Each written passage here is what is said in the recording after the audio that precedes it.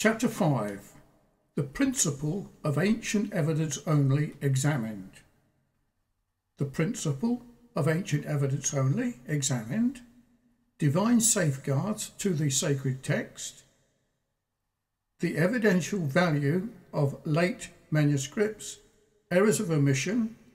An illustrative test of the comparative values of an earlier and later manuscript. The strength of the case for the revised text. We come now to the examination of the principle adopted by the various editors of the Greek text of the Bible, a principle that was imposed upon the revision committee, though that imposition was accomplished in such a way as hereafter pointed out that many of them apparently was not aware of that until they disbanded. We fully admit that the principle of following the most ancient manuscript is, on its face, reasonable and safe, for it is indisputable that other things being equal, the copies nearest to the original autographs are most likely to be freest from errors. If therefore it were a question of whether or not we should follow, in the fashioning of the Greek text, the earliest, as against later manuscripts, there would be no question at all for all would agree. But, as the case actually stands, it is impossible for us to follow the earliest manuscripts for the simple reason that they no longer exist. Not a single copy of the many thousands that were made, circulated, and read in the first three centuries is known to exist today. We do not have versions and patristic quotations that date back to the second century, and these, according to the principle we are discussing, are entitled to great weight. Is it not strange, therefore, that those who justify their course of appealing to and by professing to follow blindly the, that principle should cast it aside and accept the reading of 4th century codices that these are in conflict with 2nd century versions and quotations? Seeing then that the earliest manuscripts are no longer in existence, we cannot follow them, and hence it is clear that the problem which confronts us is one that cannot be solved by application of the simple rule we are discussing. Briefly, the situation is this. We have, on the one hand, the Greek text of 1611, which served as the basis for the authorised version, a text that represents and agrees with a thousand manuscripts going back as far as the 5th century, and with versions and quotations going back to the 2nd.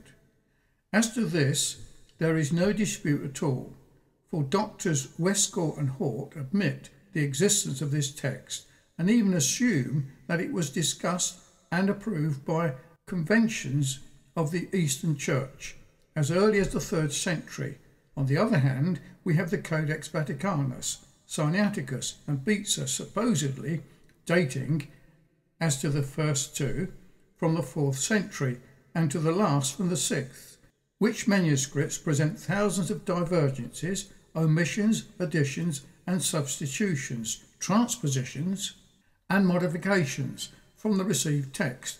Upon such a state of things, the question presented for discussion is this Shall we stand by the received text, accepting corrections and therefore wherever they can be established by preponderation proof and putting those ancient codices on the level of other witnesses to be tested as to the, their credibility like all others?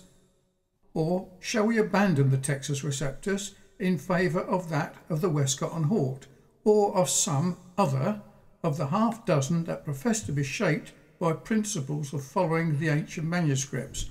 This is the question we propose to discuss in the present chapter. It should be observed, before we proceed with this question, that the agreeing testimony, where they do agree, of the Vatican and the Sinaitic manuscripts cannot properly be regarded as having the force of two independent witnesses, for there are sufficient evidences, both internal and external to warrant the conclusion that these two codices are very closely related, that they are in fact copies of the same original, itself a very corrupt transcript of the New Testament. For while it is admitted, on the other hand, that the text used as the basis of the authorized version correctly represents a text known to have been widely, if not everywhere, in use as early as the second century. For the Peshitta, the Old Testament Latin versions, corroborated by patristic quotations, afford ample proof of that. On the other hand, it is not known that the two codices we are discussing represents anything but copies of a bad original, made worse in the copying. Divine safeguard to the text. It is appropriate at this point to direct attention to the divinely ordained means which has thus so far protected the sacred text from serious corruptions. He who gave to men the Holy Scriptures to serve throughout the ages as the sure foundation of that faith of the Son of God, which also avails for personal salvation and to be also the sufficient rule of life and conduct for the household of faith, has not failed to devise effectual means for the preservation of his written word. The means in question are concerning are according to God's usual way of containing the line of a living thing, incidental to and inherent in the thing itself, and not something extraneous thereto. For it is part of the normal life of every individual to provide for the continuance and multiplication of individuals of its own kind. Thus, as the grain supplies not only bread to the eater, but also seed to the sower, so in like manner God has provided that his living word should both feed every generation of saints and should also increase and multiply itself, as it is written, and the word of God increased. Acts 6 7. And again, but the word of God grew and multiplied. Acts 12 24. And once more, so mighty grew the word of God and prevailed. Acts 19:20. The means which mainly have served to accomplish the purpose referred to are these. 1. The necessity that there should be a great and steady increase in multiplication of copies, for this provides automatically the most effectual security imaginable against the corruption of the text. This point has an important bearing on the question we are now examining. For, remembering that we have no actual copies, i.e., original Greek texts, so old as the Syriac and the Latin versions, i.e., translations, by probably more than 200 years. The traditional text, Burgon and Miller, and that the oldest versions are far more ancient than the oldest Greek manuscripts, Canon Cook, and remembering too that these venerable versions prove the existence in the earlier day of a standard text agreeing essentially with our Textus Receptus, and it will be recognized that the most ancient evidence is all in favour of the latter. 3. The activity of the earliest assailants of the Church necessitated, on the part of the defenders of the faith, and that from the very beginning, that they should quote extensively from every part of the New Testament. In this way, also, a vast amount of evidence of the highest credibility as to the true reading of disputed passages has been accomplished and has come down to us in the writings of so called Christian fathers. But of what avail would all these checks, safeguards have been if men had been allowed to follow a principle so obviously unsound as that the most ancient manuscripts are to have the deciding voice in every dispute? However, God can be trusted to see to it that all attempts to sweep away his protected means should fail, as in this case. The value of comparatively late manuscripts.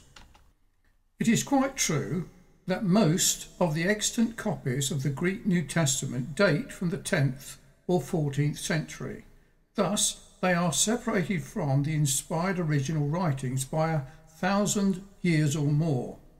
Yet, that they faithfully represent these originals and that the concurrence of a large majority of them would accurately decide every disputed reading. No reasonable person should ever doubt. The extant texts of secular writings of antiquity, Herodotus, Thucydides, Sophocles, are but few in comparison with the thousand manuscripts of the scriptures and are separated from their original some 500 additional years. Moreover, they lack the extraordinary safeguards mentioned above, whereby the integrity of the scriptures has been protected. Yet no one doubts that we have correct text of those ancient writers. So the fact is that the security which the text of the scriptures hath enjoined us, as has been well said, although unique and extraordinary. Errors of omission. In considering the principle of following the most ancient manuscripts, it is important to note how it works in the case of that commonest of all errors, errors of omission. And in discussing this point, we would take as an example the question of the last 12 verses of the Gospel of Mark, referred to specifically later on. These verses are absolutely necessary in the completeness of the Gospel. Yet, because they are not in the two most ancient manuscripts, the revisionists have marked them as probably spurious. Here then we may propose a question upon which the merits of the BV may be decided, at least to a very large extent. Should the purely negative testimony of those two codices, i.e., the fact that certain words and passages are not found in them, be allowed to overthrow the affirmative testimony of hundreds of other Greek manuscripts, versions, and quotations from the Church Fathers. This is a question which anyone of ordinary intelligence can be trusted to decide correctly, when the following points to which Dr. Hort and the majority of the revision committee must have been strangely blinded are taken into account. 1. The commonest of all mistakes in copying manuscripts or in repeating a matter are mistakes of omission or lapses of memory or the result of inattention. Hence, it is an acceptable principle of evidence that the testimony of one competent witness who says he saw or heard a certain thing carries more weight than of a dozen who, though on the spot, can only say that they did not see or hear it, or that they did not remember it. Wherefore, other things being equal, the affirmative evidence of the other three ancient codices and versions, and that of the fathers who quote these verses, are unquestioned scripture, is an hundredfold more worthy of credence than the negative testimony of the two which are allowed to control in setting the text of the RV. 2. As we have already stated, the superstitious difference was paid to the Sinai and Vatican manuscripts because of their supposed greater antiquity, an assumption being that the older the manuscript, the more likely to be correct. But this assumption is wholly unwarrantable. In the concrete case before us, we have in support of the text of the authorized version the concurrent testimony of many manuscripts from many different parts of the world, and though these were copies of older copies no longer in existence, yet upon the soundest principle of the law of evidence, their concurrent testimony serves to establish a conclusively the various disputed passages where the two ancient codices present variances. The question authenticity of the last 12 verses of the Gospel of Mark is of such importance that we propose to cite the testimony in regard thereto more fully in a subsequent chapter. We are referring to it here only as an impressive illustration of a general principle. That principle, the cause of errors of omission, is of exceptional importance in this case because we have seen the original scribes of the Sinaitic codices was peculiarly given to errors of that sort a test of the principle of ancient evidence. Let us take an illustration of what we are seeking to establish, namely, that concurrent testimony of the manuscripts which support the received text conclusively establishes its authenticity in parts where it differs from the Greek, the New Greek text of Westcott and Hort. For this purpose, let us suppose that a hundred copies of a certain original document in a central business office were made by different copyists and sent to as many different branches in various parts of the world. And suppose that, since the document contained directions for the carrying out of the business for many generations, it had to be copied again and again as the individual manuscripts were worn out through usage. Suppose, further, that after centuries of time, one of the earliest copies should turn up, which upon examination was found to lack a word or sentence found in a latter copy in actual service, and that it were deemed important to settle the question of the authenticity of that word or sentence. Suppose further that, for the purpose in view, a dozen of the manuscripts, then in actual use in various and far distant parts of the world, each one being a late copy of the previously used and worn out copies, were examined, and that the disputed word or sentence were found in each of those late copies. Is it not clear that the authenticity thereof would be established beyond all reasonable dispute? Such must be the conclusion, because the absence thereof in the ancient copy could be easily accounted for, whereas its presence in a number of later copies each of which came from a distinct source, could not be accounted for except on the assumption of its genuineness. But let us suppose that, in addition to the various copies in use in various places, there existed certain translations, versions in foreign languages, which translations were earlier than the very earliest of the existing manuscripts in the original tongue, and also that many quotations of the disputed passages were found in the writings of persons who had lived in or near the days when the document itself was written.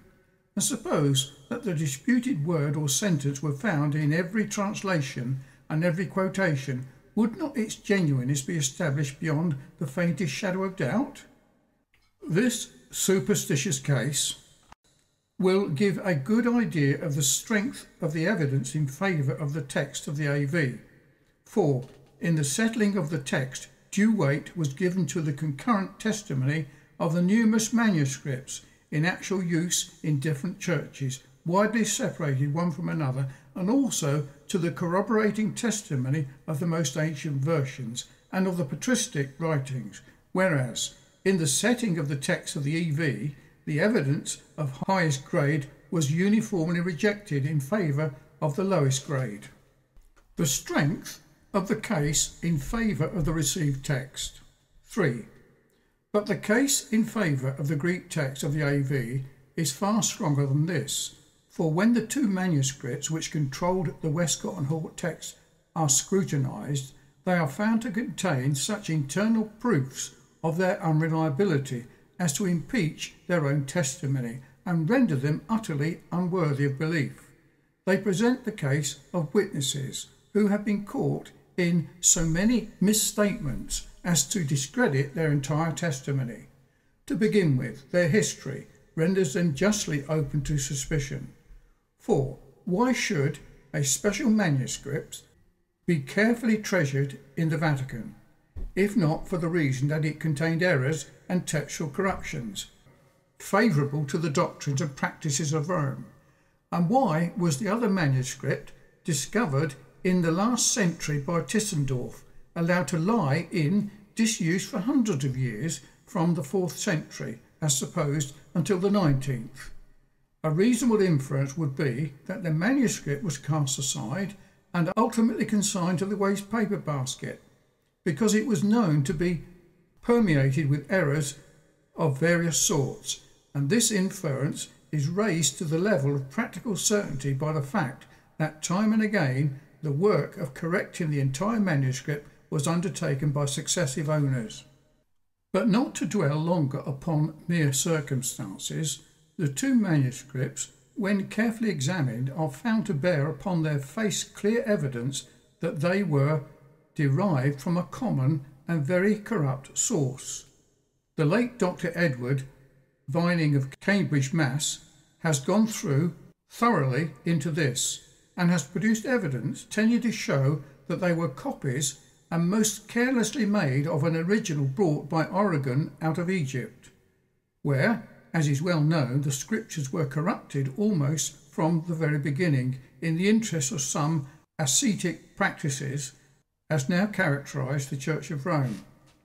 Dr. Scrivener, generally regarded as the ablest of all the textual critics, says that the worst corruptions to which the New Testament has ever been subjected originated within a hundred years after it was composed, and that Irenaeus and the African fathers used far inferior manuscripts to those employed by Stunica or Erasmus or Stephens, 13 centuries later, when moulding the Textus Receptus.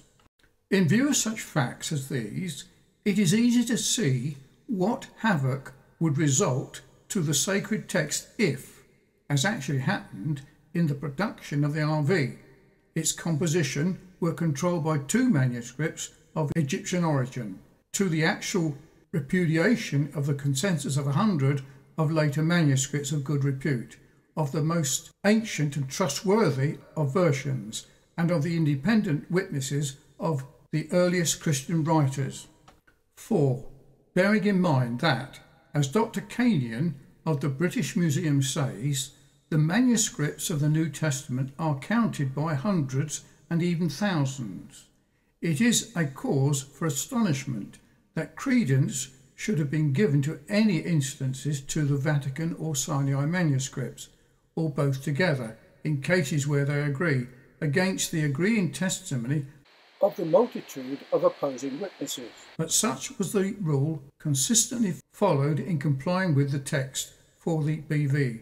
Canon Cook, in his book on the Revised Version of the first three Gospels, says By far, the greatest number of innovations, including those which gave the severest shock to our minds, are adopted on the testimony of two manuscripts, or even of one manuscript, against the distinct testimony of all other manuscripts, uncial and cursive.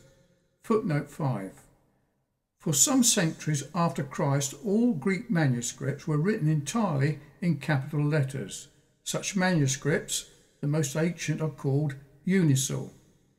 In later times, the custom of using capitals at the beginning only of a sentence or for the proper names came into existence. This style of writing is called cursive. The Vatican Codex, sometimes alone, but generally in accord with the Sinaitic, is responsible for nine tenths of the most striking innovations in the RV we have deemed it worthwhile to examine with some care the principle whereby modern editors of the Greek text in the New Testament profess to have been guided, and this for the reasons first, that the question here discussed and the facts whereby it must be determined lie beyond the reach of most of those for whose benefit we are writing, and second, that if we are right in our views, that the principle we are discussing is utterly unsound, is contrary to the rule of evidence, and it is certain to lead astray those who submit to its guidance. We have taken the foundation completely from under the revised version of the 1881 and of every other version that rests upon the same corrupt Greek text or one constructed upon the same principles. We bring our remarks under this heading to a close by quoting the following from Scrivener's Plain Introduction to the Text of the New Testament, 1833. Dr. Hort's system is entirely destitute of historic foundation, and again, we are compelled to repeat as emphatically as ever our strong conviction that the hypothesis to which Dr. Hort has devoted so many laborious years is destitute not only of historical foundation but of all probability resulting from the internal goodness of the text, which its adoption would force upon us. He quotes Dr. Hort as saying, We cannot doubt that St. Luke 23:34 comes from an extraneous source, and he replies, Nor can we, on our part, doubt that the system which entails such consequences is hopelessly self condemned. We conclude, therefore, from what has been under consideration up to this point in our inquiry, that the EV should be rejected not only because of the many unsupported departures from the AV it contains, but because the Greek text thereupon it is based was constructed upon a principle so unsound that the resulting text could not be other than hopelessly corrupt.